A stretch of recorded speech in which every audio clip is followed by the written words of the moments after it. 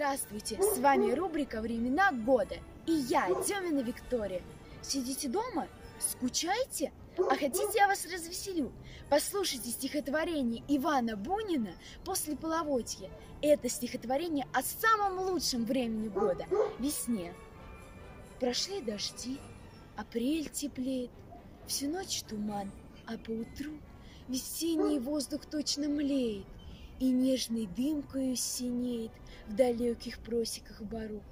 И тихо дремлет бор зеленый, и в серебре лесных озер Еще стройней его колонны, еще свежее сосен кроны И тихих лиственниц узор.